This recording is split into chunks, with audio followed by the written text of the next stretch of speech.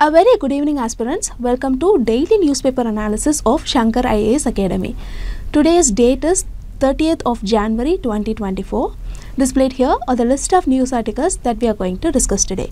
As you can see, we have chosen different articles from different newspapers. We are trying it as a pilot project. You can give your suggestions in the comments. We have tried this to give a whole coverage of the UPSC syllabus.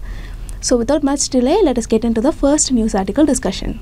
Take a look at this news article. This article, Populism Does Not Help Public Health, is a critic on the various populist policies which are affecting our health architecture. So in our news article discussion today, first let us understand what does this populism mean.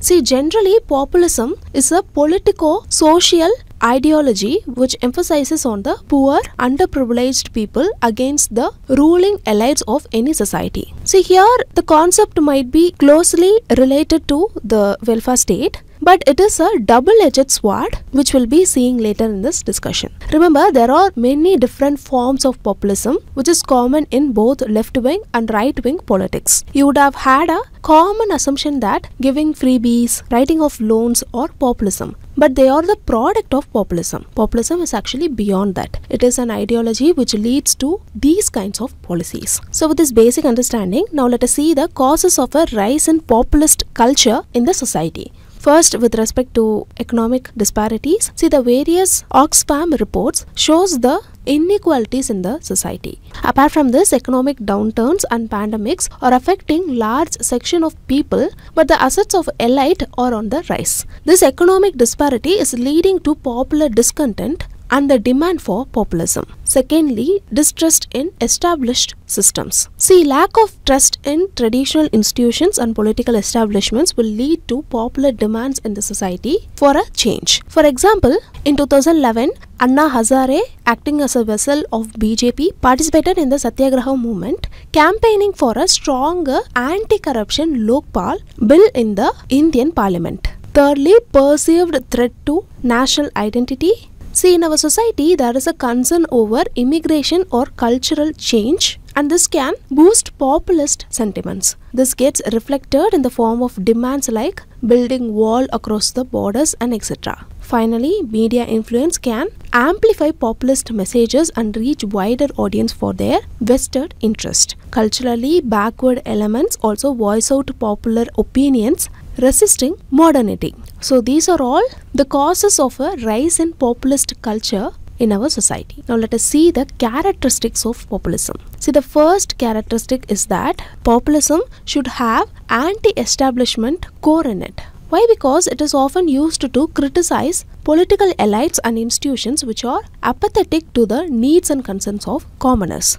So the populist ideas will have an anti-establishment core in it. Secondly, it may cause harm for the society and economy in a longer run. For example, policies like protectionism, resistance to immigrants will damage the nation in a longer term. Thirdly, there will be an emphasis on natural identity. Remember, this idea is based on the assumption that the collective interest of the society is bigger than the individual. Finally, it may lead to communalism and fundamentalism in the society. So these are all the characteristics of populism. So in this news article discussion, we saw about what is populism. Then we saw what are all the causes of a rise in populist culture in our society. Then we saw about the characteristics of the populism. So with these learned points, now let us move on to the next news article discussion. This Indian Express article talks about the interim budget which will be presented on Feb 1st of 2024. This budget will be the last budget of the current government before election. So in this news article discussion, let us understand about interim budget and how it is different from a regular budget. See, according to Article 112 of Indian Constitution, budget or annual financial statement will estimate the receipts and expenditure of the government in a financial year. For example, budget 2024 to 25 will have estimation from April 1, 2024 to 31st March 2025. Now, this is the normal process that is carried out during the budget, but this won't work for 2024. This is mainly because this year is an election year. General elections for Lok Sabha are expected to be held in India between April and May 2024. So, in the lead up to elections, it becomes impractical for any government to present a comprehensive budget. Even if they provide a comprehensive budget, after election they may or may not form the government. So for this reason only, the current government introduces an interim budget. Like union budget, the interim budget will also consist of both expenditures and receipts for the entire financial year. But the interim budget aids in the transition period until the next government takes over. So this is the basics about interim budget. Now let us see how they are different from the regular budget. Firstly, with constitutional requirement, see according to Article 112, it is mandatory for a government to pass it. But there is no such compulsion for an interim budget. In fact, a petition was filed in the Supreme Court seeking to quash the interim budget as there is no constitutional provision for it. Secondly, with respect to duration, see union budget is presented for the entire financial year, but the duration of the interim budget is for approximately 2 to 4 months of the fiscal year. So only after the election, the newly elected government will pass the full budget. But remember, even in the interim budget, it will have all the details like the current status of the economy, planned and non planned expenditures, changes in tax rates, and etc., just like a full budget. But the difference is in the duration of their implementation. Thirdly, with respect to the constraints, say in the union budget, the government is free to announce any scheme, policies, and etc. But know that the interim budget is subject to various constraints imposed by the election commission. These constraints will prevent the government from implementing any populist policies that could unduly influence the public before elections. Finally, let us conclude by seeing the similarities between the two. See, like a full budget and interim budget will be discussed and passed in the Lok Sabha, and an interim budget can propose changes in the tax regime of a country. So, these are all certain points that you have to remember about the difference and similarities between an interim budget and an union budget. So, with these learned points, now let us move on to the next news article discussion. This text and context article talks about improving battery technologies for speed EV adoption in India. So let us understand some of the important points mentioned in the news article. Firstly, let us understand why e-vehicles are the future of India. See, India has a great potential for electronic vehicles. In 2023, India registered a growth with sales reaching 50% growth compared to 2020. While many critics argue that the actual value remains small, that is 6% of vehicles registered, the industry is having potential for phenomenal growth which is expected to reach 100 billion dollars by 2030 so in this context it is very important to work on the batteries of e-vehicles. This is because they account for 40 percentage of the vehicle cost. Not only with the cost, but the research on the batteries can enhance the user experience and provide many benefits like longer range, faster charging and improved safety. Now let us look at the batteries used in e-vehicles. See almost all e-vehicles are using lithium ion batteries. Let us see the simple chemistry behind the working of lithium ion batteries. See the battery consists of two electrodes which is an anode and the cathode. They are separated by liquid electrolyte. As in the case of other electrochemical cells, lithium atoms in the anode gives up electrons which travels to the cathode through an external wire. In this process, they provide the current which powers the motor of the vehicle. Here in this process, particularly lithium is used for many reasons. First reason is that it is lightest solid element with the highest propensity to give up electron. Secondly, it is smaller in size. Remember, this enables the lithium ion to efficiently travel between electrodes through the electrolyte. On the other hand, there are many disadvantages associated with they are very slow to charge. Secondly, they are not affordable and have less lifespan. And there are also environmental issues associated with the mining of lithium all these requires an urgent need for either improving their architecture or replacing it with another. This news article provides three approaches for it. Let us see them briefly. So the first approach is to retain the basic structure of the lithium ion battery but making changes to the electrode. Note that we should take into account that the ideal electrode should be lightweight, store a lot of lithium and provide sufficient pathway for lithium to easily enter and exit the electrode. For example, Tesla's cathodes are based on nickel, manganese, cobalt, NMC and lithium iron phosphate LFP in their batteries This will benefit the consumers as NMC batteries have high energy density and provide longer range. Remember, the LFP batteries have longer life, better stability, and are less toxic and have faster charging time. The second approach is to improve the battery performance by deploying sensing and control infrastructure. See, this will increase safety and extend battery life and speed up charging. For example, temperature sensor can be installed to monitor the parameters like internal temperature, voltage, and current, and etc. This process uses advances in battery management and charging algorithms and they are generally easier to deploy since they do not involve any fundamental changes to the battery chemistry. Now the third approach is to invest in the solid state lithium battery SSB. This seeks to fix two common drawbacks in prevalent batteries. See, the liquid electrolyte used in the EV batteries is highly flammable, but the SSB replaces this with the heat resistant lightweight solid electrolyte. Apart from this, the solid electrolyte in the SSB provides sufficient structural stability and good separation between the cathode and the anode. All these steps can significantly reduce the weight of the battery while also increase the charging speed. So with these steps we can effectively harness the potential of the EV market in India. This will also be useful for our sustainable development. That is all what the article is talking about. So in this news article discussion we saw about the potential of electric vehicles in India. Then we saw about the batteries used in the electric vehicles and then we saw about its advantages and disadvantages. And finally, we saw about how to improve the charging speed of the electric vehicles. So, these learned points, now let us move on to the next news article discussion. According to the news article, the Indian economy is expected to grow around 7% in the fiscal year 2024 to 25. This data is based on a review by the Finance Ministry. The review said that this is the fourth consecutive year of post pandemic growth, which is above 7%. This showcases Indian economy's resilience and potential. Remember, the Finance Ministry's report titled The Indian Economy a Review suggests a positive outlook for the future. The report is not the usual economic survey, but it is a review, and the economic survey will be presented after the Lok Sabha elections before the budget. The National's Statistical Office's first advance estimates also project a 7.3% growth for India's economy in fiscal year 2024. This surpasses the forecast from previous national and international agencies.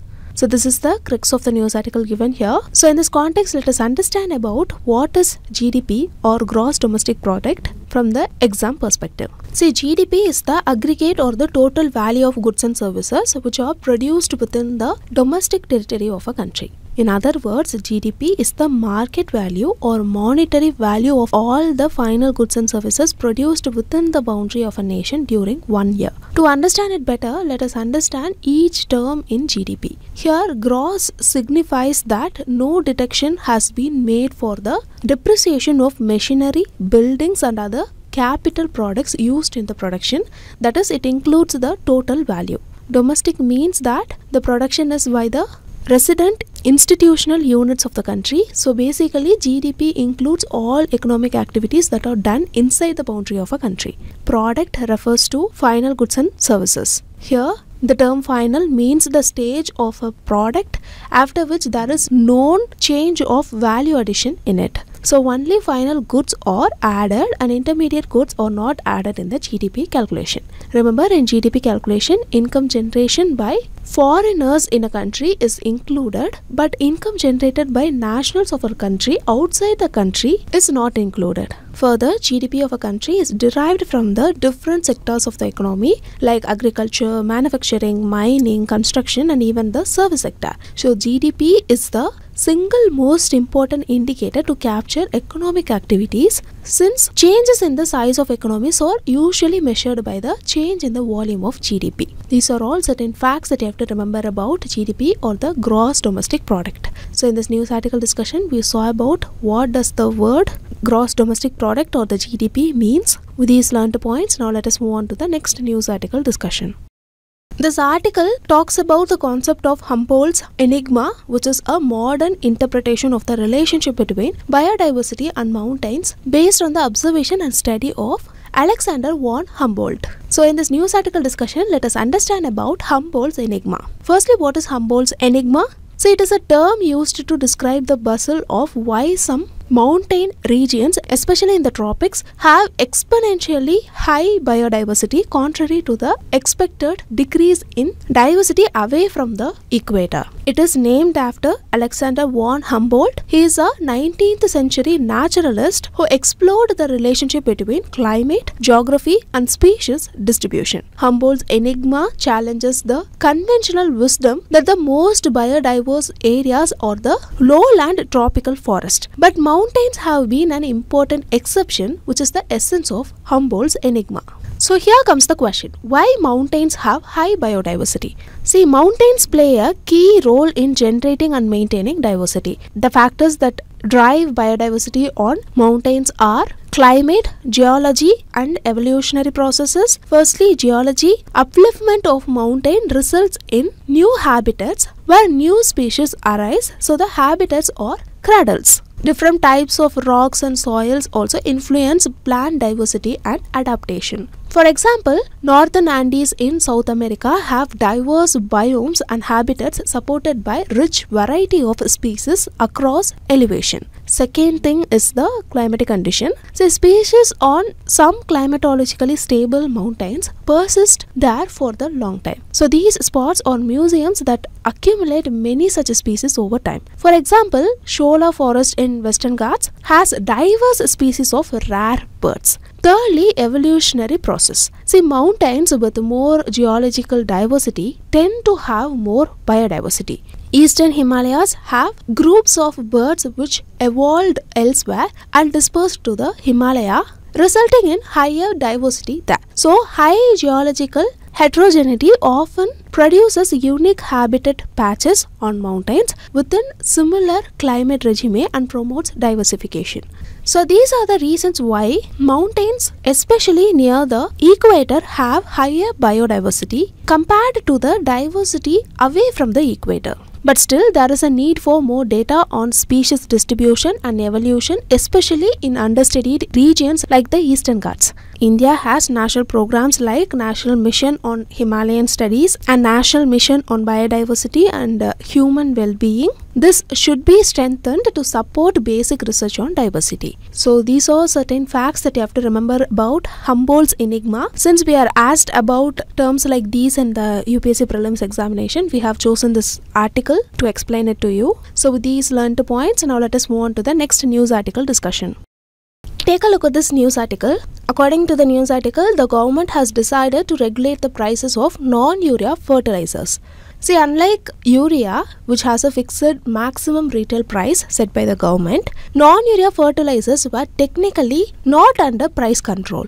The NBS or the Nutrient Based Subsidy Scheme implemented on April 2010 allowed companies to set market determined prices for non-urea fertilizers. But the recent decision of the government brings non-urea fertilizers under price control with the government fixing profit margin for these fertilizers. So in this context let us understand about the nbs scheme from the prelims perspective. See fertilizer subsidy plays an important role in the growth of agricultural productivity since they help in ensuring food security of our country remember there are two types of fertilizers in India. They are urea based fertilizers and non urea based fertilizers like DAP and MOP and etc.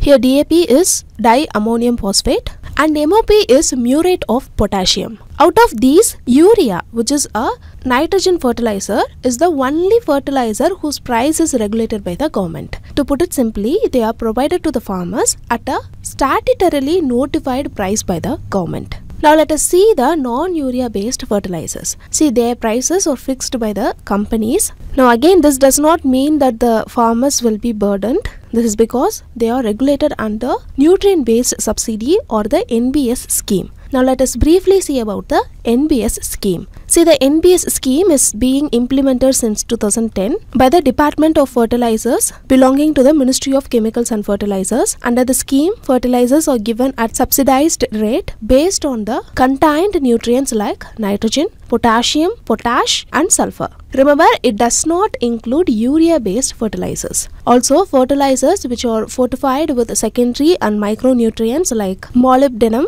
MO, and zinc are given additional subsidy. So this is about the NBS scheme. Now let us see the significance of NBS scheme. See the first significance is its availability. This will enable smooth availability of all PNK fertilizers to the farmers during Rabi season at the subsidized prices of fertilizers and support the agriculture sector. Secondly, observing the volatility. See the volatility in the international prices of fertilizers and raw materials have been primarily absorbed by the union government. This ensures that the input cost of the farmers is always lower.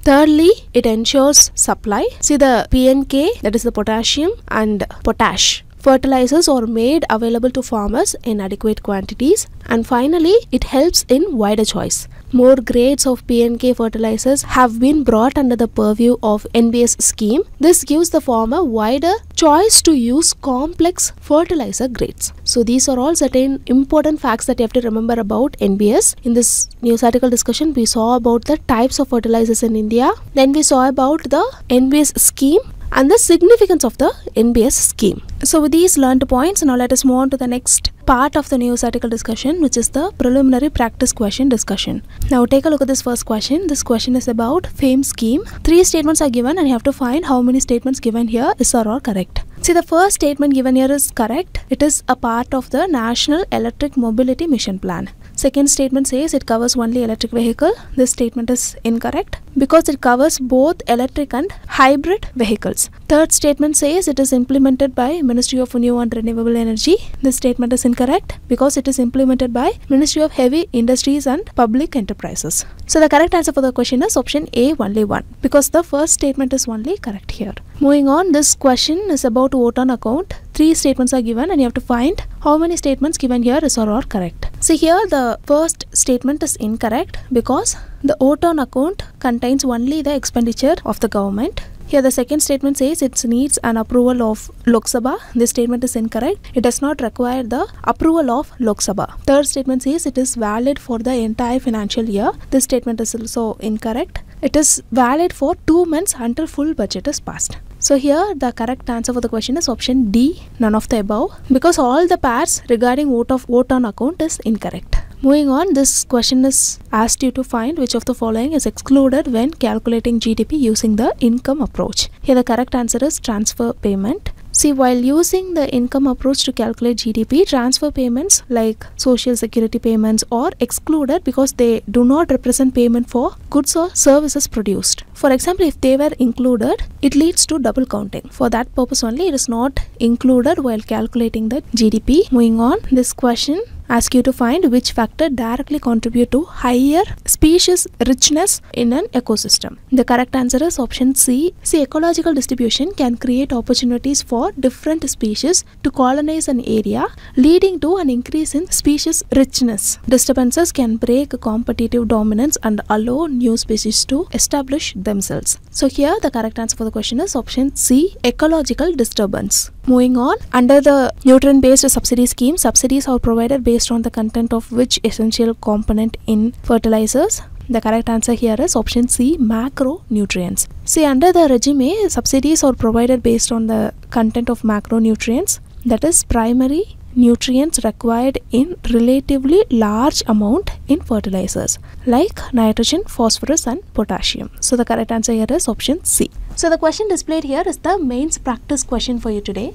Just go through the question and try to answer it in the comment section. I hope you got a holistic perspective about different articles from different newspaper. You are free to give your suggestion in the comment section. We are waiting to read it. So if you like the video, hit like, do comment and don't forget to subscribe to Shankar IAS Academy YouTube channel. Thank you for listening.